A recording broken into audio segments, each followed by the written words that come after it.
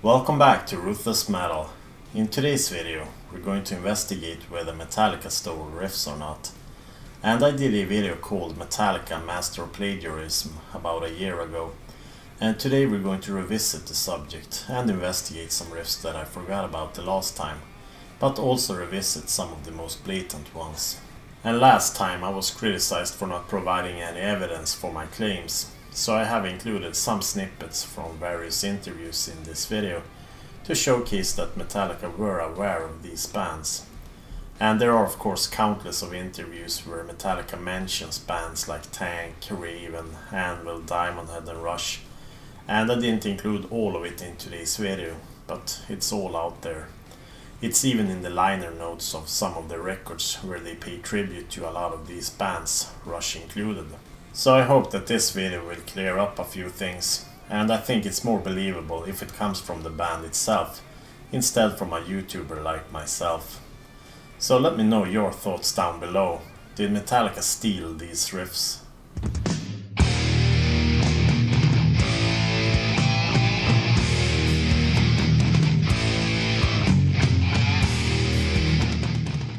So, you know, we we you know we were each other's fans. We would always check out what the other bands were doing always you know be inspired what the other bands were doing always kind of compare ourselves to what the other bands were doing you know borrow certain things here you know whatever. I mean it was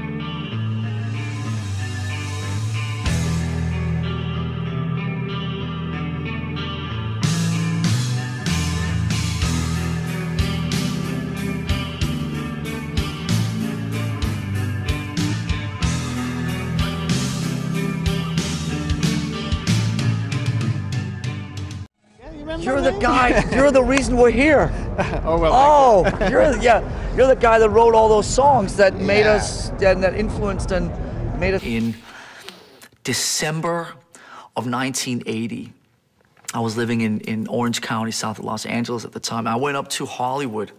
I was a very big fan of this band called Yesterday and Today, later known as Y&T. One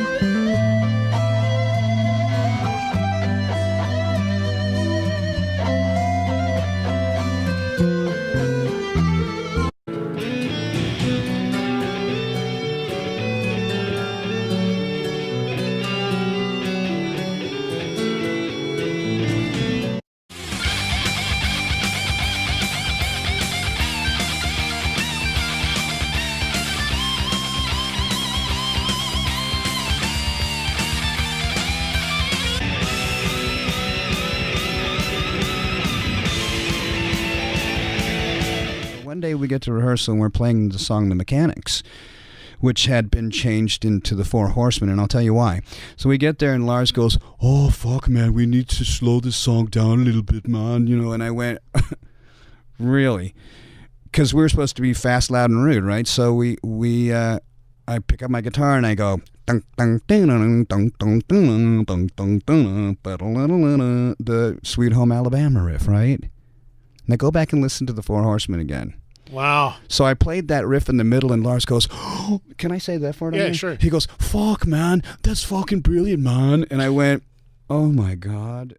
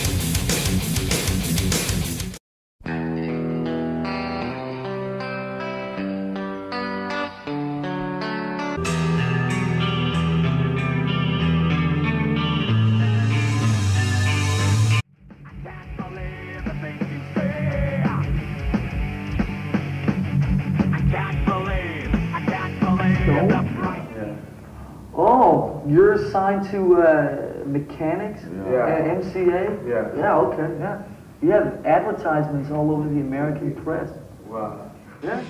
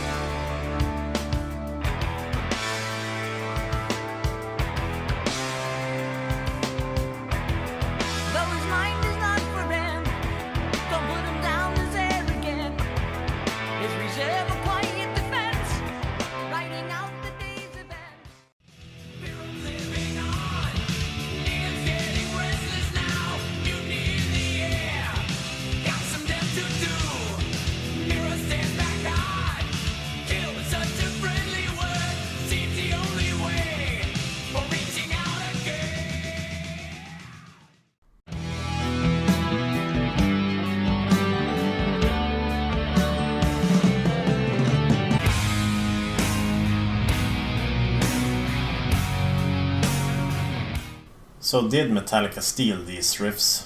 Is it plagiarism or simply coincidences? Let me know your thoughts down below. And feel free to let me know if I missed any riffs that they might have borrowed from others. And don't forget to smash that like button and subscribe with the bell notifications turned on so you won't miss out when I post new metal videos here to the channel. I have for example made a timeline of Metallica's first 10 years as a band and I've ranked all of their studio albums in my Rank 'em All series. So don't miss out on those two videos and I've linked them on the end screen of this one if you guys want to check them out. And if you want to support my work, then you can always grab yourself a shirt at the Ruthless Metal store or by becoming a Patreon. It's only $3 per month and you get access to the Ruthless Metal Discord server and you will be able to vote on certain things.